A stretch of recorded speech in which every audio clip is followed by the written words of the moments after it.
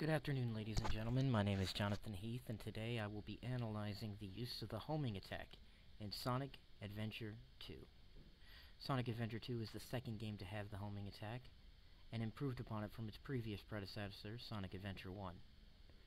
I will be looking at the various ranges, uses, and other aspects, how the player uses the homing attack to continue his progression through the level without delaying or slowing down, or can take an alternate path while utilizing the homing attack. Let's go ahead and get started. The homing attack is used in Sonic games to encourage progression, open up new paths, and allow for quick rewards. Mastery of this mechanic will grant rewards such as extra lives. The next thing I will explain is the metrics of Sonic's homing attack. On average, Sonic can make a jump from approximately 2 to 3 square feet away. I use the tiles on the background assets of the floor and pyramid to judge and estimate Sonic's homing attack. The controls are quite simple.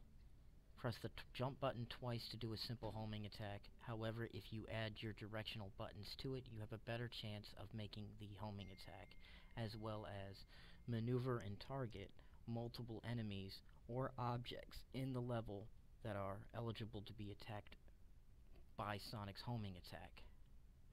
Without the directional button, Sonic can make a homing attack, but the chances are decreased, as in the extra momentum forward or to the side increases the chance of Sonic making his attack. Elevation also plays a key role in the ability of Sonic making his homing attacks. If Sonic is higher than the object he is targeting, a better chance of automatically hitting the target will also be included. The next thing I'm going to talk about is the different transitions and setups the designers used. In this particular one, there's a ring box that is just before Sonic, and Sonic can use that ring box to homing attack over the bottomless pit instead of using the stairs, which is much slower. If Sonic is successful in his homing attack, a quicker and faster path opens up for him allowing him to maintain his momentum through the rest of the level. In this next example of setup, and a large group of beetles are in front of him. If the player successfully uses his homing attack to navigate between each and every beetle, he'll continue and maintain his momentum until the end of the stage. Each beetle requires a single tap of the homing attack button at a certain time, as well as a directional correction with the analog stick to make the attack. Shadow's metrics are the exact same as Sonic's in this game, but this is a great example of the use of the homing attack and without the use of the directional button. In this particular obstacle, the player continuously taps the homing attack button to gain the momentum and air needed to make it past this obstacle.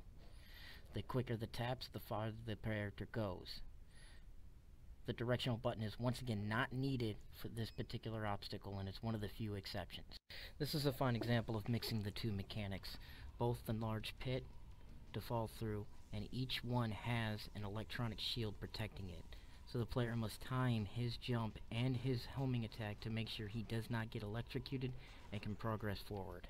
Overall, the main use of the homing attack is to progress through the stage at a quick pace. This is a great final example towards that. Sonic must use his homing attack to navigate the falling platforms into the goal to finish the stage in record time. This has been my analysis of the Sonic Adventure 2 homing attack. I hope you enjoyed this time. Please have a good day.